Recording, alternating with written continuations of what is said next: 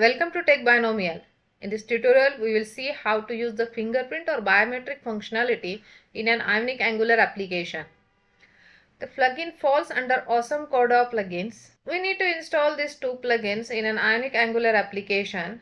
So let's create the application first. Here I am creating Ionic Angular capacitor application. Install the first required plugin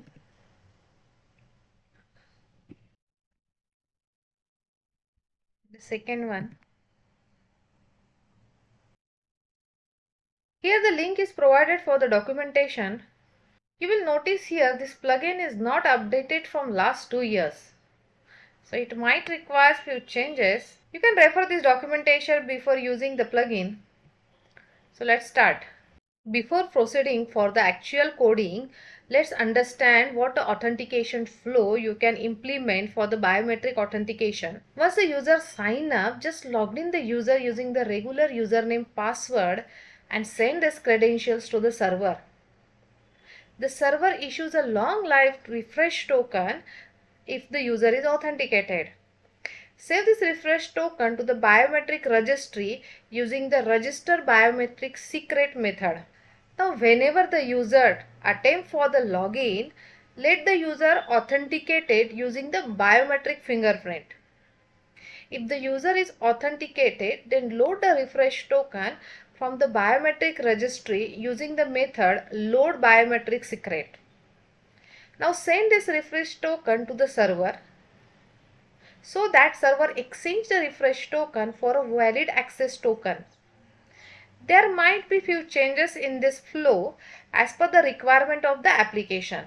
Now let's see how to use the plugin in our application. Import the fingerprint plugin. Now on the init process, we'll call the authenticate by fingerprints method. So define here one custom method. Now first check if the fingerprint is available. If it's available, then only proceed. The method given is the show method which prompt for the fingerprint.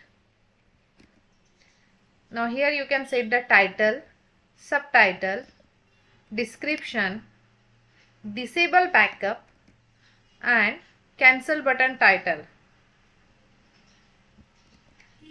Just catch in case there is any error.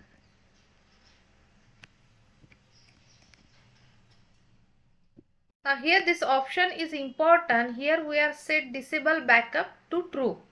If it is true, remove backup option on authentication dialog and the default value is false.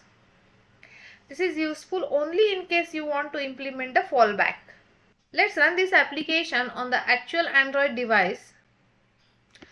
I am running it on Vivo mobile.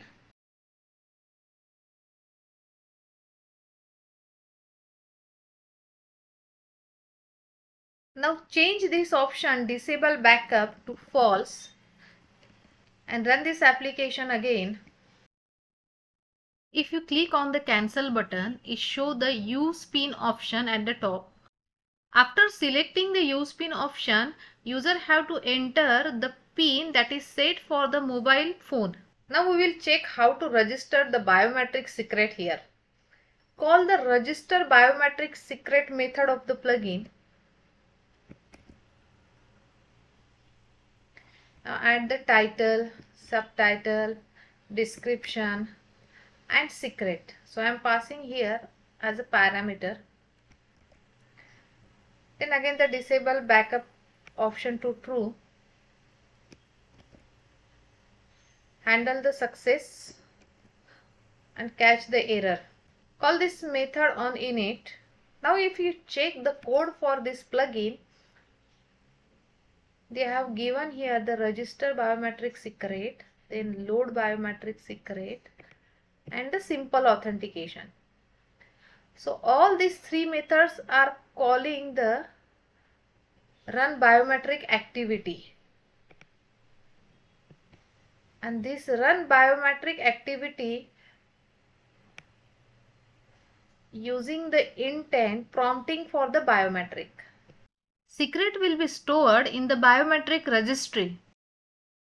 Add here the method to load the biometric secret.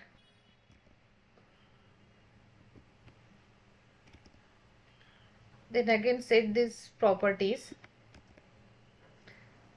We will check here what's the result.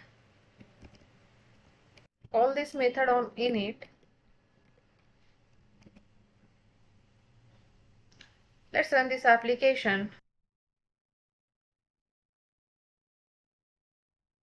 now the secret is loaded from the biometric registry this is simple demonstration how you can implement the fingerprint biometric plugin in your application.